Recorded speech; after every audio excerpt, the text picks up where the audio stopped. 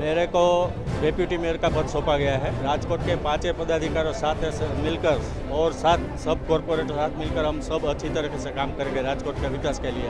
सबसे पहले तो ये बारिश के समय आया है, इसमें जो पानी का भराने का प्रॉब्लम है, वो हम सब पहले से दूर करेंगे। राजकोट की और कोई जो समस्या नहीं है, लेकिन जो काम बाकी है, वो हम पहले पूरे पर करेंगे और आगे सब नया काम जो आएगा वो हम चालू करेंगे।